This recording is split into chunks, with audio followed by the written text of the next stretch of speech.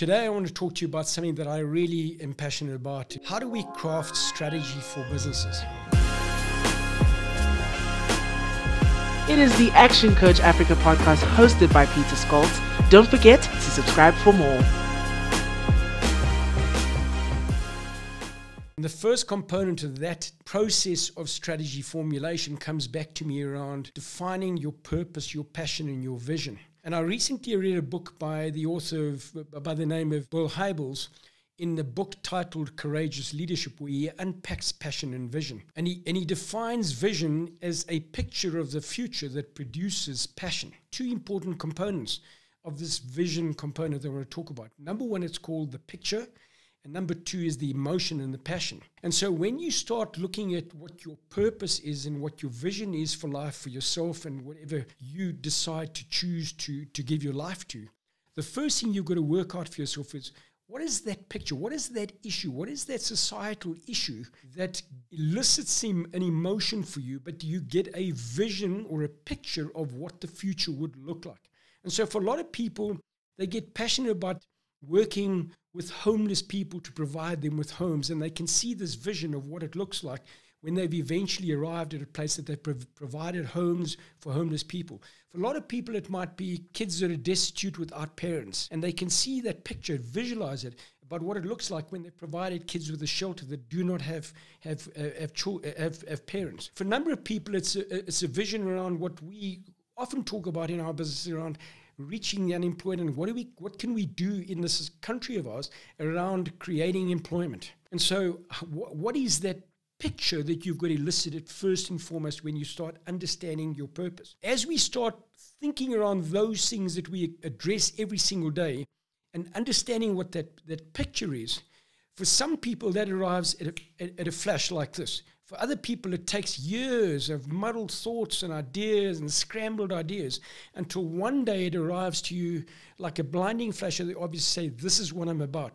This is what I'm prepared to give my life to for the rest of my life, etc. And the vision then becomes very clear. The picture of what your vision becomes very clear. So once you've got that clarity, that's the first point. The second point that you've got to understand when you start understanding your vision or your purpose is what is the passion that that picture elicits for you?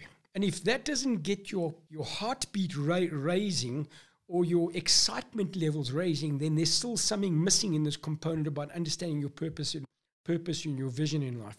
And so the moment the passion, the, the picture is clear for you, the next component of deciding what your purpose is, what does that do to my level of emotion? How does that raise my heartbeat? How does that raise my energy levels for me to go get out there and dedicate my life to to make that issue become a reality.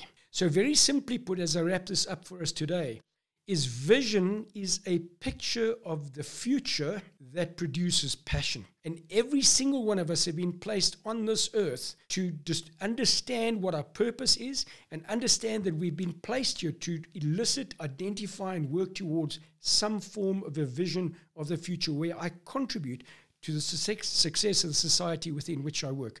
When I was working with somebody uh, a couple of years ago around understanding the purpose and the vision and the passion, I was driving to the meeting the morning. I was saying to myself, you know, how do I help this individual, this this business owner, unlock what their purpose and their passion is in life?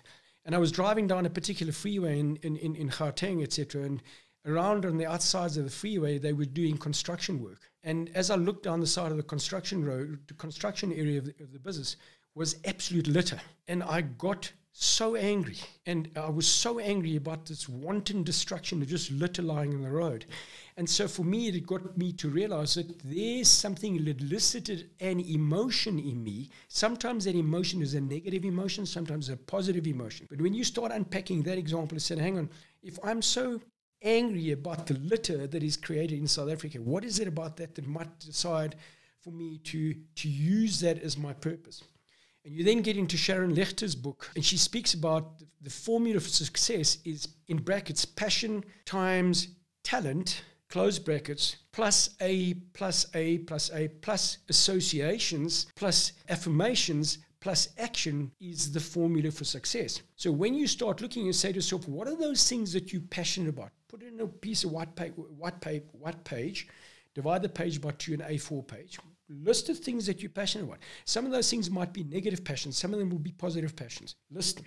On the right hand side of the page, write down what do you what do you believe your talents and your skills are. And so it's interesting when people start doing that as an exercise that you know you can see that's all warped or whatever. And I say to them, well, take that piece of paper and go and share it with your wife, your spouse, or whatever your best mate, and ask them to write down what they think you're passionate about, what they think your skill set is, or whatever. And you, then you start matching it. All of a sudden, you start drawing the lines between what you're passionate about, what your talent is, and you start matching the two. And when you get to common themes across those two areas, then you start asking yourself, so hang on, where are my associations? Where's my network that I can link into, tap into to start driving me towards making that difference? Secondly, talks to that concept about I am who I am and I've been placed in this earth and what we, what we refer to as as, as, daily affirmations. And so you've got to start thinking about yourself in that future sense around who I am. And we talk about it in, in Action Coach around daily affirmations you know, I am successful and all those stuff things. But we've also got to recognize where our, sense, our source of strength and power comes from when you write affirmations down. Because if it's all self centered, the foundation of that is wrong. And then lastly, so right, if I now know what my passion and my talents are, if I know where my associations are and who I can connect with in society that can help me along this path, and I understand what my value proposition is in, in, in on having been placed on this earth, now start taking action every single day, every single week towards that level of success for yourself. So for today, I just want to leave that with you today. And next week, we will go through the next part of the strategy formulation process. Thank you for joining me today, and I hope you've found value in this episode today. If you are considering leaving corporate or you're considering getting to the business coaching industry and work are keen to join our community of highly experienced coaches, then I would like to encourage you to go to our website at actioncoach.africa and make sure that you hit the subscribe button, and we'll see you next time.